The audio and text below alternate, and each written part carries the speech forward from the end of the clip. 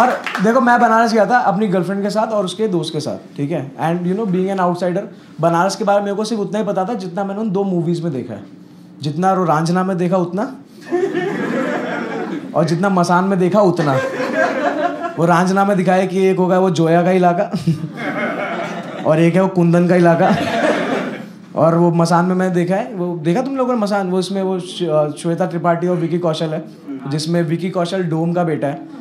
And Shweta Tripathi upper middle class great writing है ना? वो उसमें, जिसमें वो प्यार करते हैं और आपस में फिर at at the end movie में वो श्वेता त्रिपाठी अपने परिवार के साथ जाती है घूमने के लिए और मर जाते हैं। It's a great love story but तुम देखना। एंड में थोड़ा मौत वौत है।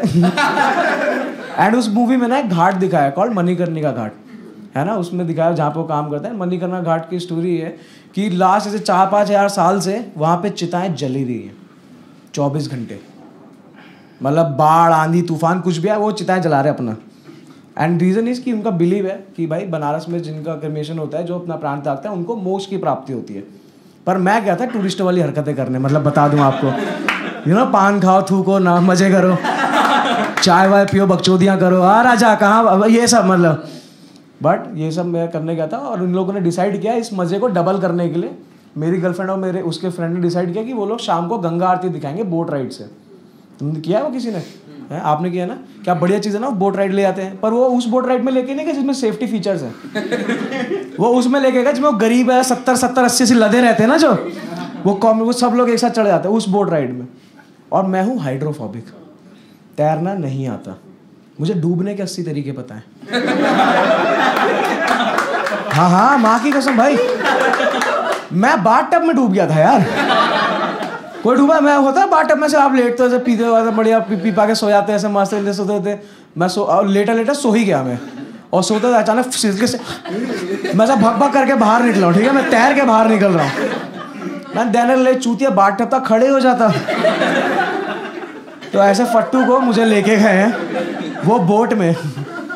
वो बोट देखा, वो ऐसे चलता है, सामने सारे ऐसे ऐसे मुँह, ऐसे एक दूसरे की तरफ़ मुँह करके बैठ जाते हैं हैं? है ना? जैसे मैं तो घाट देख रहा हूँ, वो पता नहीं चूते मुझे क्यों देख रहे हैं। वो बोट राइड की बात बता रहा हूँ कि बोट ऐसे चल रहा है और हम इधर घाट देख रहे हैं, ये लोग हमें देख रहे हैं और हम कह रहे हैं हाँ भाई, ठीक ही है फिर मतलब। हमने सत्तर दिए, वो देखने के लिए आप दे रहे हो, हमें तो बढ़िया।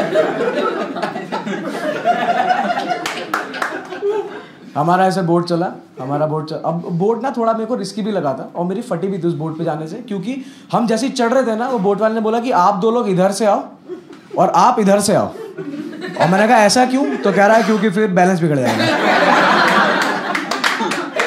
अबे चूते सत्तर लोग का बैलेंस मेरे भरोसे लेके बैठा है क्या तू? और मेरी ना उस बोट में थोड़ी फटी भी थी, क्योंकि जब हम बोट वो चली ना पानी में वो जैसे जैसे पानी के अंदर जाते गई ना, वो थोड़ी थोड़ी नीचे घुसती चले गई तुम। समझ रहे हो लाइक वो एंड तक वो, मैं उसे पूछा कि भाई, हम लोग गंगा आरती देखेंगे यहीं जल समाधि ले रहे हैं हम लोग आज रात को? उसका कोई उपाय है? बट हमको उसे बैठा दिया और मैं ऐसे बैठा, ऐसे मुँह करके यू नो ये पोजीशन में, जहाँ पे आपको, मैं हाइड्रोफोबिक में ना वैसे होता है ना कि मौत दिखाई तो नहीं दे रही, लेकिन ऐसे महसूस हो रही है पीछे। Know? पता नहीं कहाँ मरेंगे बट यही है कि इसी से मरेंगे जो तो मेरी फट रही थी तो बट मेरी गर्लफ्रेंड और मेरे दोस्त ने डिसाइड किया कि इसकी फट रही है। तो इसकी थोड़ी और फाड़ने के लिए हम एक काम करते हैं। बोट का एज होता है ना फट्टा, उन्होंने उस पर ले आके बिठा दिया। अभी बोट ऐसे है और मैं इधर सबसे ऊंचाई पे वो एलिवेशन पे बैठा हूँ। एंड एक चूतियों मौत दिखाई भी दे रही है यहाँ से मतलब पहले महसूस हो रही थी। अभी पता है इसी में मरना डूब के हमारी बोट में ना गांडू अंकल भी थे। ये वो वाला गांडू पहली वाली स्टोरी की नहीं, ये अलग है। देखो, इनको डिस्क्राइब करने के लिए मैं कोई भी वर्ड ले सकता, लेकिन आई चूज़ गांडू बिकॉज़ वो था। क्योंकि जैसे हमारी बोट चली ना, वो बंदा ज्ञान देने लग गया कि ये वाला ये घाट है, ये राजा हरिश्चंद्र घाट है, ये नारद घाट है, यहाँ पे कपल एक साथ ऐसे नहाएँगे तो फाइट हो जाता है। और मैं अपनी गर्लफ्रेंड को इशारा करूँ कि एक एक डुबकी तो बनती है यहाँ पे। और ये सब चल रही है, और मैं ना कंफर्टेबल हो गया था because it was a very beautiful ride मज़ा आ रहा है, नाव चल रही है अच्छा लग रहा है। और मेरी फट रही थी, ठीक है? मैं पैनिक हो रहा था यहाँ पे बैठ के कि मर जाऊँगा। तभी अंकल आके मेरे को बोले कि, बेटा, क्या हो गया? डर क्यों रहे हो? क्या हो गया? इसमें कुछ नहीं होता। बनारस तो लोग मरने ही आते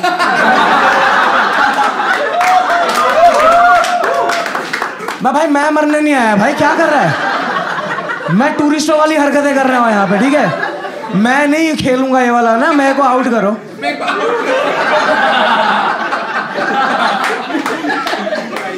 बट वो बोले जा रहा है बोले जा रहा है ऐसे पंद्रह मिनट हो गए and then I start feeling good क्योंकि अच्छा लग रहा था।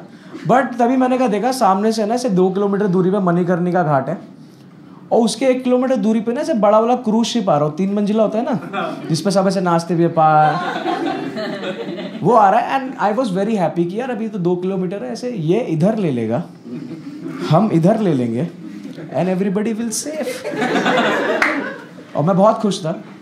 और ये सब चल रहा है, खुशी भी चल रही है, खुशी चल रही है। तभी मैंने क्या देखा कि डिस्टेंस है अभी एक किलोमीटर। हम लाइक ये अभी इधर ले लेगा यार।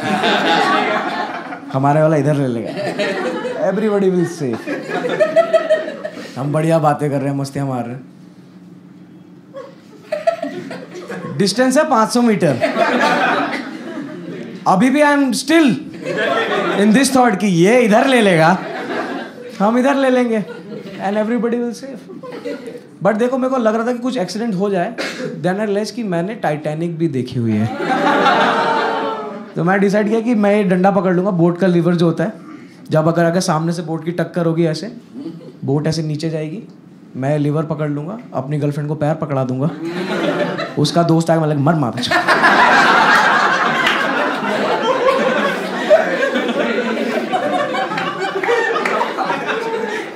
और जब तक ऐसे बोट डूबेगी, तब तक मदद आ जाएगी। तुम समझ रहे हो मतलब? अब डिस्टेंस है सौ मीटर और उसने इधर नहीं लिया। और हमारे वाले ने भी इधर नहीं लिया।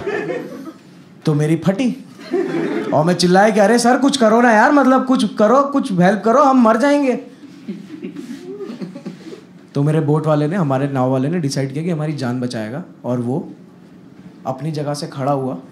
और जहाँ पे फट्टा था, वो मेरे फट्टे पे आके खड़ा हो गया। ऐसे ना, ऐसे फट्टे पे बाजू में ऐसे खड़ा हुआ। एंड इज़ लाइक कि, अबे साइड लेना!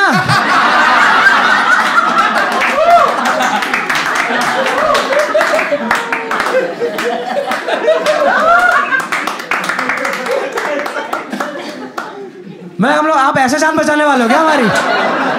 चूते वो तीन मंजिल ऊपर है। हम उसे दिखाई भी नहीं दे रहे, तू सुनाई भी नहीं देगा। You know this was the moment everything become slow कि मैं चिल्ला रहा हूँ, अंकल जान बचाओ। वो चिल्ला रहे हैं, बचाओ। गांडू अंकल चिल्ला रहे हैं, बचाओ। और कभी मैं गांडू अंकल के पास गया जाके बोला, क्या हो गया अंकल? बनारस में तो लोग मरने ही आते हैं.